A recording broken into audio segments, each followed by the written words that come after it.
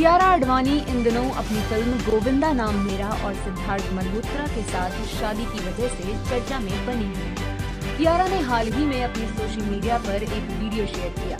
जिसके कैप्शन में उन्होंने लिखा कि 2 दिसंबर को एक नई अनाउंसमेंट करने वाली है कियारा के इस पोस्ट के बाद जहां कुछ यूजर्स का मानना है कि वो अपने अपकमिंग प्रोजेक्ट्स का खुलासा करेंगे